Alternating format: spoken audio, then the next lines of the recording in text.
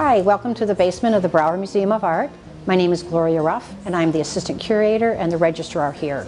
Down the basement here is where we have our vaults, where we, where we store the artwork in the collection. We have over 3,000 items and only so many of those can be on display um, upstairs at a time. We have our paper vault and we have our vault that has the uh, oil paintings on canvas.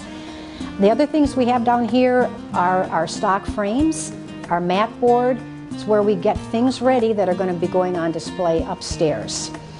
Uh, the other things that we uh, do down here, and you can see the students being part of this right now, is we just got a um, shipment of artwork in from an artist, Jeanette Pasin Sloan, and she is donating her whole archives to the Brauer Museum of Art, and so they're involved in unwrapping those, in doing an inventory, checking out the works to see actually what it is she's sending us, and then later, all these works will go through a process of being accessioned into the Brauer Museum of Art's collection.